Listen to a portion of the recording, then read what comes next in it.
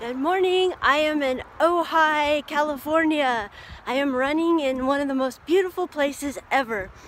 And I'm running 10 miles barefoot, of course. What other way is there to run? And I am about five miles into my 10 mile run. You'll notice my my uh, spouse is not with me. He is taking a class today, so I am going solo. And I miss him, but it's okay. Last night we ran three miles. We were supposed to run three miles on Thursday, but we went to the movie theater and saw an old movie, Casablanca, which was really great.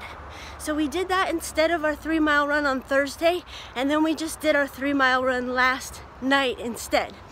Now, oh, I'm so sweaty. Um, it's been raining here, and uh, last night on the run, I felt terrible.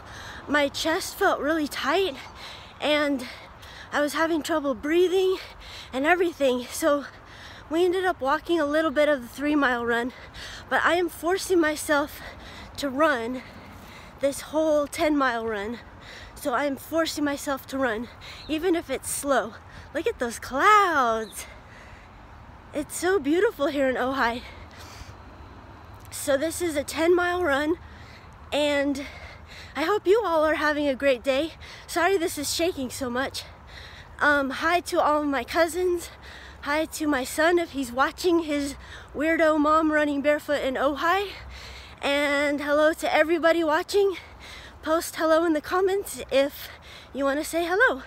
And have a great day.